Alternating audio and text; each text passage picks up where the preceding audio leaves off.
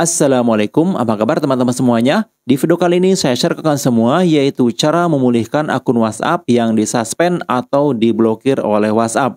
Sebelumnya, WhatsApp yang diblokir ini telah saya gunakan untuk memasukkan beberapa kontak ke dalam grup tanpa persetujuan mereka.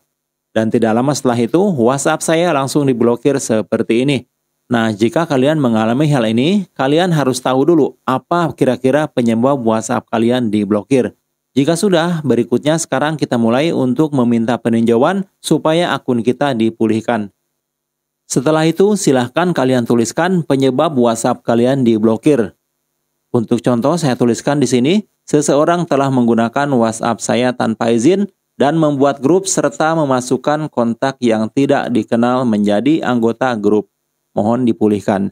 Jadi, walaupun kalian yang membuat kesalahan, bilang saja bahwa WhatsApp kalian telah digunakan oleh orang lain tanpa izin. Kemudian jika sudah, kita kirimkan.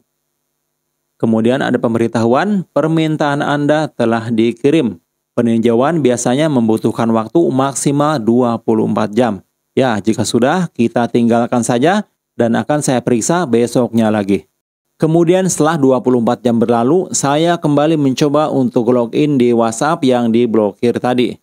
Oke, sepertinya berhasil. Kemudian saya masukkan untuk kodenya. Mantap sekali, akun bisa dibuka lagi.